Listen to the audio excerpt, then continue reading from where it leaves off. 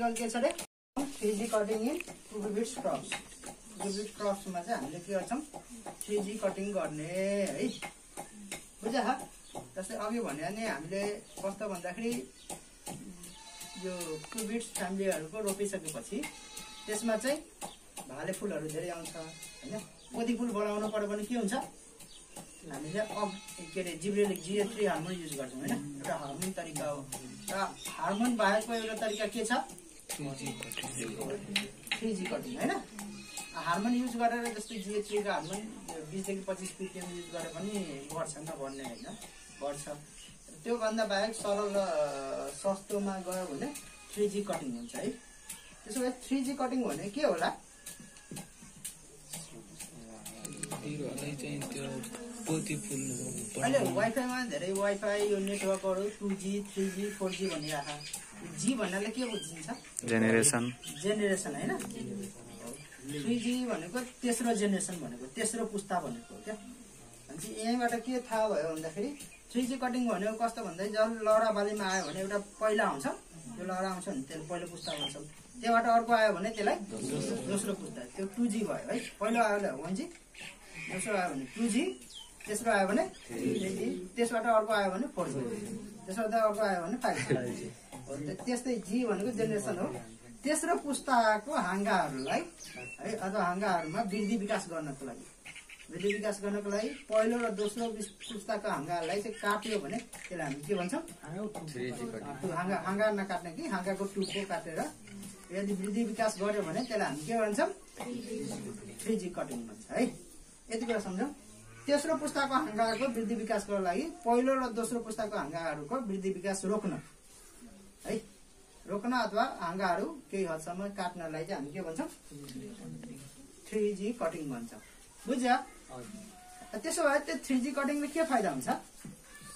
त्यसमा चाहिँ पोती फुलहरू धेरै पोथी फुल आउँछ पोथी फुल र भाले फुल चिन्न सकिन्छ? सकिन्छ।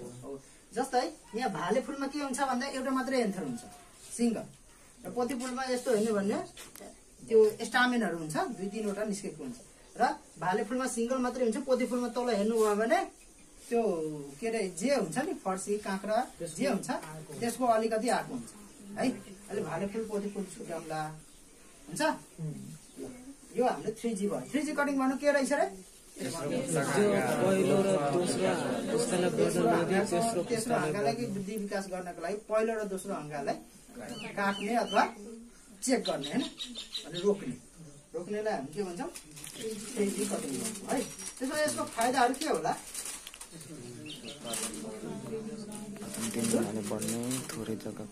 यसबाट के हुन्छ भन्दाखेरि उत्पादनमा तिन गुणा वृद्धि हुन्छ अरे। है? त्यो भएको घटना हो। जस्तै यो थ्री जी कटिङ नगरिकन यति गऱ्यो भने भाले र पोथीको अनुपात हेऱ्यो भने कस्तो हुन्छ भन्दाखेरि चौध फोर्टी एउटा रिसर्चले के देखा इज टू वान भने चौध र एकको अनुपात चौधवटा भाले फुल आउँछ भने एउटा पोथी फुल आउँछ। तर त्यही थ्री जी कटिङ गऱ्यो भने टू इज टू वान के अरे वान इज टू टू हुन्छ। जस्तै दुईवटा पोथी फुल र एउटा भाले फुल आउँछ। बुझ्यो? त्यसरी गऱ्यो भने तिन गुणा उत्पादन हुन्छ। तिन गुणा उत्पादन हुन्छ अनि काटिदियो भने थोरै सा ठाउँ अगोट्छ थोरै ठाउँ अगोट्ने भएर ठाउँको पनि हाम्रो सदुपयोग भयो कि भएन। हो र त्यसपछि गुणस्तर जो फुल हुन्छ नि फल लाग्छ नि त्यो राम्रो खालको फल लाग्छ। है सुन्दैन त्यसो हुन्छ। यसो बेफाइदा के हुन्छ? जस्तै पहिलो पुस्ताको हामी काटिदिन्छौँ भने दोस्रो पुस्ता काट्छौँ भने त त्यसको पातहरू पनि काट्ने हो नि त। बढ्नलाई सानो पार्ले हो नि त। बढ्नलाई सानो पार्यो भने फोटोसिन्थेसिस कम हुन्छ। फोटोसिन्थेसिस कम भएर के हुन्छ? उत्पादनमा अलिक ढिलो लाग्छ। चाँडै फल्नुको फुल्नुको सट्टा चाहिँ अलिक ढिलो हुन्छ। है? त्यसपछि के हुन्छ अरे? जो हाँगाको भागमा चाहिँ काटेका छौँ। त्यसलाई चाहिँ के हुन्छ? रोग लाग्ने सम्भावना हुन्छ। है? अथवा त्यसमा चाहिँ ढुसीहरू र ब्याक्टेरियाहरू लाग्छ। है? त्यसपछि के हुन्छ? यसको लागि चाहिँ थ्री जी कटिङको लागि एउटा विशेष प्राविधिक ज्ञान चाहिन्छ। जहाँ पायो जसरी पायो त्यसरी काट्यो भने झन् उल्टो हुन्छ। धेरै फल्नुको साथ फल्दै फल्दैन फलेको पनि बिरुवा मर्छ है त्यही भएर चाहिँ के चाहिन्छ अरे? प्राविधिक ज्ञान चाहिन्छ कि आफूले अनुभव चाहिन्छ काम गरिरहेछ भने अनुभवको आधारमा पनि हुन्छ। है प्राविधिक ज्ञान भने सिकेको सिकेर बल्ल चाहिँ यो काट्न पाइन्छ है। बुझ्यो? त्यसो भए कसरी गर्ने होला? Three G cutting? कसरी गर्ने भने यो पिजी हो पढ्नुहोस् त सरस्वती। पहिलो पुस्ताको हाँगालाई आठदेखि दस फिटको उचाइमा बिरुवाको पाँचवटा पातसम्मको हाँगा काट्ने दोस्रो पुस्ताको हाँगाहरू बाह्रदेखि तेह्र पात पुगेपछि टुप्पो काटिदिने। पछि काटेको ठाउँमा चुन वा अन्य औषधि लगाउने लगाउने। बुझ्या? पहिलो पुस्ताको हाँगा छ भने त्यो कति रे? आठदेखि दस फिट भयो भने त्यसको टुप्पो काटिदिनु पहिलो पुस्ताको हाँगा र दोस्रो पुस्ताको हाँगा के हुन्छ? बाह्रदेखि तेह्रवटा पात हुन्छ नि हुन त तिन फिट जति भन्छ नि क्या तिन साढे तिन फिट जति भयो भने त्यसलाई चाहिँ त्यसको टुप्पो काटिदिने त्यहाँबाट के हुन्छ तेस्रो पुस्ता आउँछ नि त तेस्रो पुस्तालाई चाहिँ बढ्न दिने र यसो किन गर्ने भन्दा जस्तै पहिलो पुस्तामा हुन्छ नि पहिलो पुस्तामा भाले भाले फुल मात्रै लाग्छ दोस्रो पुस्तामा आउँछ भने भाले र पोथी लाग्छ तर कम लाग्छ है पोथी फुल तेस्रो पुस्तामा आउँछ नि जुन फुल त्यसमा चाहिँ पोथी पोथी मात्रै लाग्छ त्यही भएर चाहिँ हामी तेस्रो पुस्तालाई चाहिँ इम्पोर्टेन्ट मानेर पहिलो र दोस्रो पुस्तालाई चाहिँ हामी कट गर्छौँ बुझ्या त्यही भनेको पहिलोलाई चाहिँ के गर्ने रे? पहिलो पुस्ताले दस आठदेखि दस फिटमा काटिदिने है। त्यसपछि दोस्रो पुस्ताकोलाई चाहिँ के गर्ने रे? ए त्यसपछि चाहिँ बिरुवाको जो जरादेखि हुन्छ फेददेखि फेददेखि पाँचवटा पात आएको हुन्छ चारदेखि पाँच पात। त्यो लगभग साठीदेखि एक मिटरसम्म भन्छ नि क्या अरे त्यो हेरी हेरी अब त्यसमा चाहिँ पहिलो पात दोस्रो पात तेस्रो पात चौथो पात आइसक्यो भने त्यहाँबाट हाँगा बढ्न नदिने। किन होला? त्यहाँबाट कुनै पनि ब्रान्च आयो भने? त्यसलाई चाहिँ काटिदिने। किन? त्यसले न्युट्रिएन्ट बढिदिन्छ। बिरुवा चाहिँ बढ्न खोजिरहेको त्यहाँ सुरुमै हाँगा बढ्यो भने त्यहाँबाट फुल आउँछ नि फुल आएर अरू अरूलाई रोपिदिन्छ क्या। त्यही भएर चाहिँ पहिलो तिन चारवटा हाँगा चाहिँ पलाउन नदिने है। तिन चारवटा पातमा चाहिँ हाँगा पलाउन नदिने। त्यसपछि के गर्ने रे? दोस्रो पुस्ताको हाँगा हुन्छ भने त्यसलाई चाहिँ दसदेखि के अरे बाह्रदेखि तेह्रवटा पात हुन्छ नि त्यो पातको टुप्पो काटिदिने। अनि तेस्रो पुस्ताको हाँगा चाहिँ नकाट्ने है यतिकै छोडिदिने। जहाँ जहाँ काटेको हुन्छ नि त्यहाँ ठाउँमा चाहिँ हामी बर्डेक्स पेस्ट हुनसक्छ चुन हुनसक्छ अ, हुनसक्छ चुन भएन भने गाउँघरमा के पाउँछ अरे? खरानी खरानी लगाइदिनु है। के नलागोस्? खुसी भन्नु नलागोस्। हुन्छ? त्यसो भए यहाँ चाहिँ यो पात यो पिक्चरले के भन्छ है जस्तै यो हेरौँ है। यो यहाँ रोप्दा हुन्छ बिरुवा? एक दुई तिन चार पाँच। पाँचवटा पात छ। यो पातमा यस्तो हाँगा आएको छ भने पहिला हाँगालाई के गर्ने? काटिदिने। त्यसपछि यो पहिलो आएको छ नि यो। हेर्नु भएको पहिलो पुस्ता हो। पहिलो पुस्ता कति रे? आठदेखि दस फिट हुने बित्तिकै। फुट हुने बित्तिकै त्यसको टुप्पो काटिदिन्छ त्यसपछि यहाँबाट दोस्रो पुस्ता आह। दोस्रो पुस्तामा कतिवटा पात भयो अरे बाह्रदेखि तेह्रवटा पात आयो भने त्यसको चाहिँ टुप्पो काटिदिने यसमा हेर्नुहोस् है यो पहिलो पुस्तामा जहिले पनि यो भाले फुल आउँछ है। यहाँ आहा यो भाले फुलको दिया यो पोथी फुल छ। भाले फुल आउँछ पोथी फुल आउँछ है। र तेस्रो पुस्तामा के आउँछ पोथी पोथी मात्रै आउँछ। बुझ्नुभयो अरू खासै केही होइन है। जस्तै यो तेस्रो पुस्ताको भयो यो दोस्रो पुस्ताको भयो यो पनि दोस्रो पुस्ताको भयो। किन पहिलो पुस्ताबाट निस्केलाई दोस्रो दोस्रो पुस्ताबाट निस्केकोलाई तेस्रो भन्छ तेस्रोमा चाहिँ के हुन्छ खालि? पोथी पोथी मात्रै हुन्छ बुझ्यो यति भइसकेपछि हामी के गर्छौँ? प्र्याक्टिकल गर्न जान्छौँ। हुन्छ?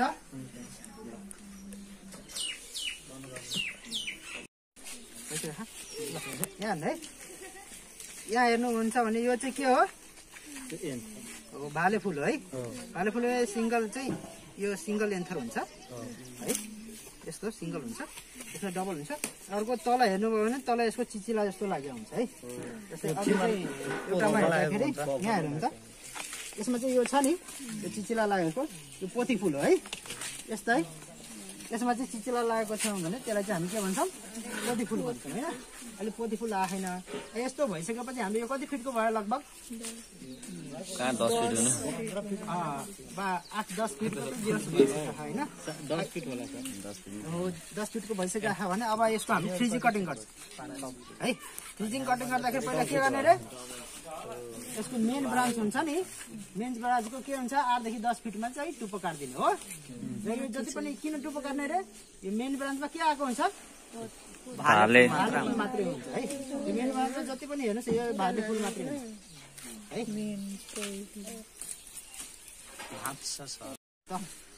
होइन र ल। Let's consider this is eight feet okay अब यसको चाहिँ के गर्ने? टुप्पो काट्ने है। भयो टुप्पो काटिदिनु त्यसपछि यसलाई चाहिँ अब के गरौँ? डुबाउँला है पछि गरौँ ल त्यसपछि के गर्ने? यो यसको जरा हेर्नुहोस् है। यो जरा यहाँ हेर्नुहोस् त। यो जरा ह? यो जराबाट यो गएको हो। यहाँ। हेर्नुहोस्। यो जरा ह? यहाँ पनि जरा ह? जराबाट के अरे? कतिवटा पातसम्म पाँचवटा पातसम्म जस्तै यहाँ हेर्नुहोस् है।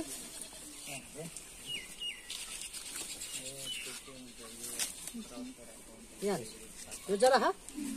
जराबाट यो पातहरू पनि सुकेको छ भने यसलाई पनि हटाइदिने मर्दैछ भने भयो? एउटा पात भयो। दुईवटा पात भयो। तिनवटा भयो। चारवटा भयो। यो बुझ्नु भयो यहाँको सबै चाहिँ हाँगाहरू हटाइदिने है। हजुर पातभन्दा कति भयो। यहाँ पनि हेर्नुहोस् है। यहाँ। एउटा पात भयो। यो पनि दोस्रो आँखा नि यसलाई पनि हटाइदिनु है। त्यसपछि तिन चार पाँच भयो। योभन्दा माथि यो आँखा नि। यसलाई जान दिनु है। यसलाई जान पुस्ता भयो नि त। पहिलो पुस्ता भयो। योबाट निस्केको के भयो? यो दोस्रो पुस्ता भयो होइन? पहिलोबाट निस्केको यो दोस्रो पुस्ता दोस्रो पुस्ता कति जानु पऱ्यो रे? दसदेखि बाह्र पात होइन? एक दुई तिन चार पाँच छ सात भएछ होइन? सातसम्म भएछ यसलाई चाहिँ बाह्रसम्म जानु दिउँ है? अर्को देखेर है? यहाँभन्दा माथि। यहाँभन्दा माथि यो छ। त्यसमा हेर्नुहुन्छ भने एक दुई तिन चार पाँच छ छसम्म गएको है? यस्तै हुँदैछ बढ्दैछ। भर्खर आउँदैछ होइन? यसमा चाहिँ यो यो अलि बढी भएको छ कि? एक दुई तिन चार पाँच छ सात आठ नौ दस एघारवटा भयो है। हुन्छ? एघारवटा भए पनि हामी काट्दिउँ हुन्छ? यसो सर्लक्कै काट्दिउँ यहाँबाट जो निस्किन्छ नि? यहाँबाट?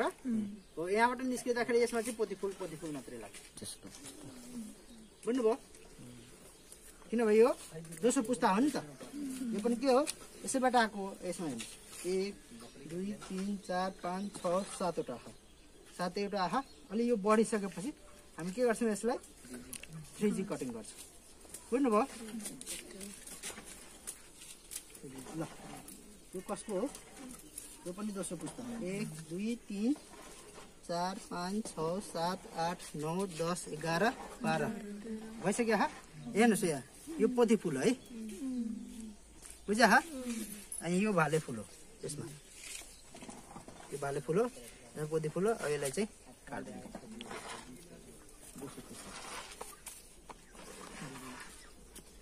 सकिन्छ? गर्न सकिन्छ? यसरी गर्ने हो। र यो यति भएपछि हामी के आउँछ यसबाट? तेस्रो पुस्ता आउँछ जो तेस्रो पुस्तामा के हुन्छ? पोथी फुल पोथी फुल मात्रै आउँछ।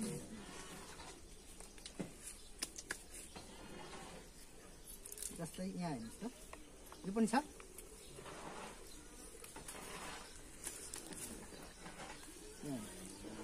मेन छ पहिलो पुस्ताबाट एक दुई तिन चार पाँच छ सात आठ नौ दस एघार बाह्र। सक्यो यसरी चाहिँ हामी के गर्छौँ दोस्रो पुस्तालाई काट्दैछौँ तेस्रो पुस्ता चाहिँ यहाँबाट निस्किन्छ है अब यहाँबाट जो निस्किन्छ नि जस्तै यहाँ हेर्नुहोस् त। यहाँबाट आइरह यो हो यो आयो भने यहाँबाट के हुन्छ? पोती फुल पोती फुल मात्रै आउँछ। सकिन्छ गर्न? हो ल। अब के गर्ने रे यसमा अब दोस्रो पुस्तालाई त काट्दै आउँ। पहिलो पुस्तालाई काट्दै आउँ। पहिलो दोस्ता दोस्रो पुस्ता काट्दै गएपछि यहाँ के हुन्छ? रोग लाग्ने सम्भावना हुन्छ। यसमा चाहिँ के गर्ने? बोर्ड एक्सपेक्स अथवा चुनहरू त्यो भएन भने खरानीमा यस्तो गरिदिने। के हुन्छ यसले? लाग्दैन है बुझ्नुभयो